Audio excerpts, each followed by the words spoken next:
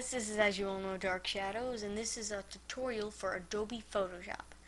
In this tutorial I'm going to be explaining the basics of Photoshop.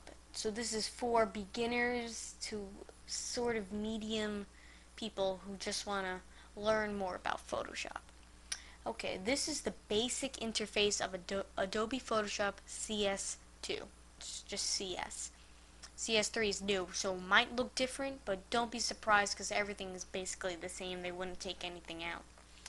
Okay, so this is how it looks. Now, if you want to get started on a, uh, a document, you go to File, New, and just a window pops up.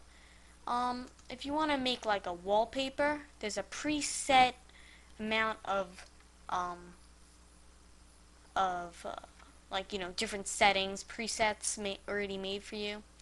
You got you know HDTV, you got just basic wallpaper sizes, and you have some widescreen ones. But for now, I'm going to be sticking to something I made. It's called the Spider-Man forum size, which is used for the signatures. Um, what this is going to be is that we're going to make the width 500 pixels and the height 175 pixels. By doing that, we're going to just click on the box where it says width and change it to 500 and uh, same for the height. Now you have to watch out because it might be already set as inches. Just change it to pixels. It'll save you definitely because if you get lost right here, it's going to be hard later on. Okay, so now to continue, press OK. Now this is what it looks like. To maximize it, you know, just press the square in the middle. And here we begin. The tools on the side. Okay? This over here is just a selection toolbox. Next to that is the pointer where you can move images within the, the document. Below that, uh, the main things you need to know. Ah, the eraser, which is going to be erasing parts of the parts of your uh, image. The paint bucket tool, and the eyedropper tool. Now, if you're saying where are these things, I cannot find a picture of an eraser, that is because um, when you right click on some of the things, there's alternate modes. Like for instance, for there's something called a gradient tool, and you, it's like a like a like a piece of paper with fading from black to white. You have to right click that and press paint bucket tool to see the paint bucket. They hide it because there's different modes that have a similar effects and stuff. They just don't want to make more options to make it confusing. So um, I recommend that just leave it on Paint Bucket now. Don't switch it to Gradient because then you'll forget and you don't know where it is. So this is the basic interface of it. Now let's go all the way to the right. Here we have the navigator which just shows you the preview or outline. You can zoom in, zoom out. You don't have to, this is how you zoom in and out. And this just zooms all the way back in and out. Okay. But, okay. Then, right below that is something called the layer menu. Right now, we have one layer and there's nothing in it. But you can create layer upon layer upon layer. Make the different shades of that layer. Make it seen or unseen. And that's just basically it.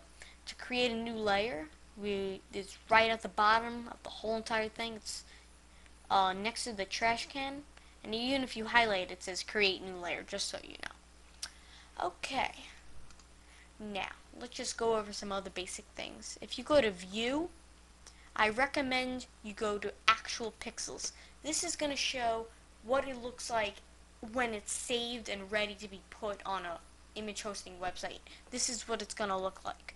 So you should always keep it on actual pixels. If you want to zoom in, you press view zoom in or you could go to control plus. This zooms it in and control minus zooms out.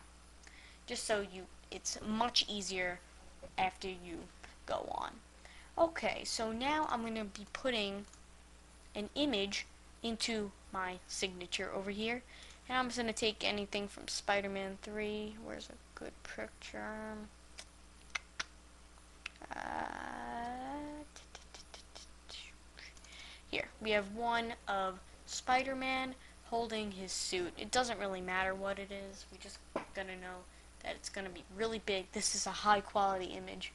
Okay, so you see the image right here? It's Spider-Man holding a suit. Okay, now we have two things open. We have the original document and this image of Spider-Man. To get the image of Spider-Man into that other one, we just click, drag, and then highlight the other document. You're going to see a little arrow with a plus sign comes, just that's normal. Now unclick, and bam, it's in your document. Now you're going to say, what, what part of the thing is this? I have no idea what's going on. That is because the quality of the image is so high that the and the pic the the quality of this uh, pixels is so low that you're gonna have to resize the original image so it fits the quality of the lower. Okay, you got that? Now, there's two ways to do this. You could go to Edit, Free Transform, or you could just simply press Control T. I find Control T much easier. Okay, this is how far we have to zoom out just so we get an idea of the image. This is a really big image. Okay, there's two, there's one good way to do this and one bad way to do this. By, okay, as you see after you press, the, press Control T, there's uh, like uh, a dot on each corner. What you're going to do is you're going to press that corner and drag down. Right? And you know how to move, you just grab and drag.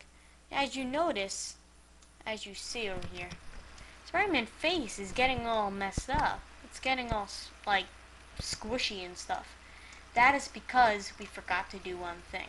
We forgot to hold shift. Now, holding shift is probably the most important rule ever. It maintains the aspect ratio. So go ahead, hold down shift, and now drag it smaller. You'll see that every time you do it, it doesn't lose its aspect ratio. It keeps it keeps it the same. Okay. So this is a pretty good uh, thing right here. I could go a little smaller so we see more. Uh, that's right. That's good. Let's go a little smaller. Okay, this is good. You know, a little teeny weeny smaller. Perfect. Now, to save it as this new size, you just go on the top of the screen and press Commit Transform, which is a picture of a check. Another way to do this, I think, is to just press on that, and bam, it goes. Okay, so now this image is in your SIG. So you learned how to get it in here and resize it. That's the main thing. But realize, if you want to flip the image, you go to uh, Mode, I mean image, rotate canvas, and then flip canvas horizontal. But watch out, if you have things on other layers, they're gonna, uh, everything is gonna flip, not just that image. So you better watch out because um,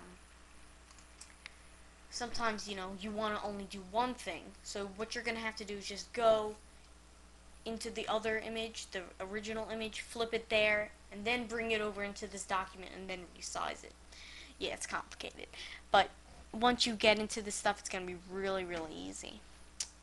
Now, this is all I want to do in this tutorial uh, because just so you get know, just so you know how to do this.